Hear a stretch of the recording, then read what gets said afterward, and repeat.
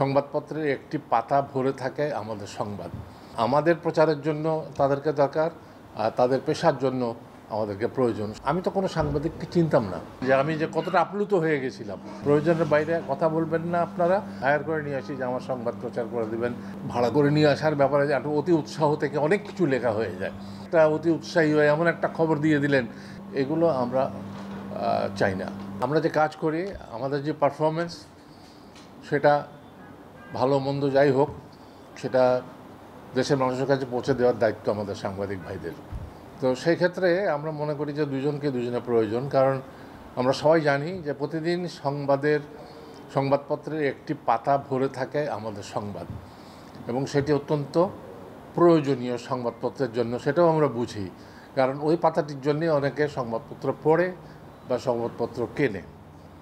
সুতরাং আমাদেরকে তাদের প্রয়োজন সংবাদপত্রের। এবং সংবাদপত্রে যারা পেশা হিসাবে নিয়েছেন সাংবাদিক, তারা ওই সংবাদগুলো বহন করে নিয়ে যান সংবাদপত্রের জন্য। সুতরাং আমার মনে হয় যে আমাদের প্রচারের জন্য তাদেরকে দরকার, আর তাদের পেশার জন্য আমাদেরকে প্রয়োজন। সুতরাং এটা আমি বলব যে আমাদের মধ্যে অনেক সময় অনেক ভুল বোঝাবুঝি হয়।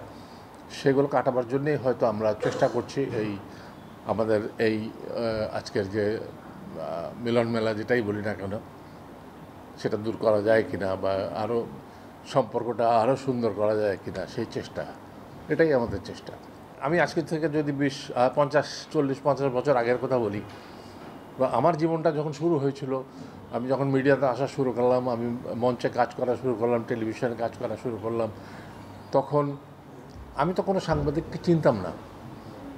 কিন্তু নিপুণ নামে একটা একটা পত্রিকা ছিল, আপনারা জানেন কিনা জানি না, সাংস্কৃতিক জগতে অত্যন্ত বিখ্যাত।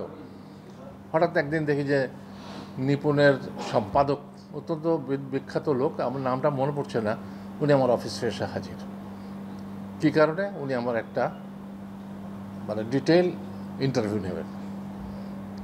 মানে তখন আমার অবস্থাটা আপনারা বুঝতে পারেন যে আমি যে কতটা আপ্লুত হয়ে গেছিলাম, যে আপনি প্রয়োজন অনুযায়ী আপনার সংবাদ নেবেন এবং প্রয়োজনের বাইরে যাবেন না। প্রয়োজনের বাইরে কথা বলবেন না আপনারা আমরাও উচিত না, আমাদেরও উচিত না প্রয়োজনের বাইরে কোনো রকম অভিব্যক্তি বা কোনো রকমের যে আমি যদি কাউকে হায়ার করে নিয়ে আসি, এটা হয়, এটা অস্বীকার করতে পারবেন না এটা হয়, যে আমি হায়ার করে নিয়ে আসি, যে আমার সংবাদ প্রচার করে দেবেন, বিরাট ইন্টারভিউ নেবেন, সেখানে অনেক কিছুই হতে পারে। যে ভালোবাসা থেকে বা এই ওই যে ভাড়া করে নিয়ে আসার ব্যাপারে যে একটা অতি উৎসাহ থেকে অনেক কিছু লেখা হয়ে যায়। এবং সেই অনেক কিছু লেখার মধ্যে দেখা যায় যে সত্যের বাইরে অনেক কথা চলে আসে, অপলাপ হয়ে যায়। এবং সেগুলোই তখন পরে কমপ্লিকেশন সৃষ্টি করে। তো তার মানে এই না যে সাংবাদিকদের সাথে আমাদের কোনো ব্যক্তিগত পরিচয় থাকবে না বা কিছু না। এটা আমরা যেহেতু একটা পুরুষ, একটা জগতের আমরা দুটো অঙ্গাঙ্গিভাবে জড়িত এবং আমরা একে অপরের পরিপূরক। আমাদের সাথে আমাদের যোগাযোগ থাকবে, ভালোবাসা থাকবে, আমাদের সামাজিক যোগাযোগ থাকবে।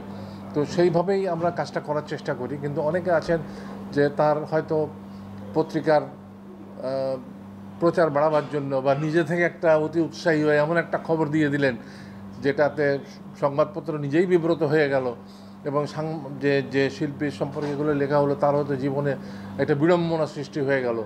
এগুলো আমরা চাই না। আপনারাও নিশ্চয়ই চান না, কিন্তু সেটা সবাই সবসময় মনে রাখেন না। এটাই হয়ে গেছে সমস্যা। ডেফিনেটলি দায় দুই পক্ষের। এটা তো অস্বীকার করার কোনো উপায় নেই।